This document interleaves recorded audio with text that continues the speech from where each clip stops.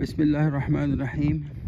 یہ ہے وادی مرعنیب، جو کہ پیچھے سے چلتی ہوئی آتی ہے حرت الحجاز سے، اکھل کی طرف سے۔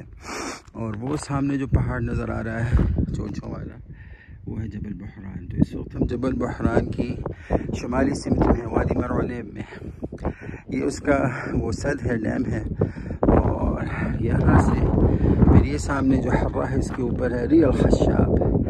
تو عرب حضرات جو باحثین ہیں اس علاقے کے ڈاکٹر عبد المحسن ابن طمع اور ہمارے استاد شیخ عبد الحافظ القری ترین حضرات کی رائے یہ ہے کہ ریل خشاب رسول اللہ صلی اللہ علیہ وسلم کا مسار ہے غزوہ بحران کے لیے۔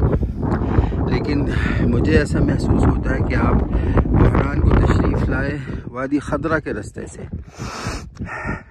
وادی الفرا میں داخل ہوئے، پھر وہاں سے ایک جگہ آتی ہے الفیفہ، وہاں، اور پھر عین الوجیدہ، اور وہاں سے ہوتے ہوئے پھر وادی خضرہ وادی خضرہ سے پھر وادی حجر، اور پھر بحران پہنچے۔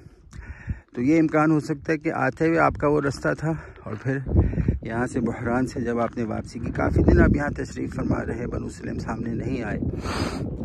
کہوں بیش میں سمجھتا ہوں خواہ شاید بیس دن یا تیس دن آپ یہاں تشریف فرما رہے ہیں۔ تو پھر جب آپ نے واپسی فرمائی ہوگی تو پھر اغل گمان ہے کہ یہ ری الخشاب سے ہی آپ واپس تشریف لے گئے ہوں گے۔ اور یہاں پیدل کا ہی رستہ ہے یا اونٹوں کا رستہ ری پر چڑھنے کا۔ تو گرمی بھی آج بہت زیادہ ہے یہاں ماشاء اللہ چون ڈگری، ٹیمپریچر ہے ففٹی فور ڈگریز۔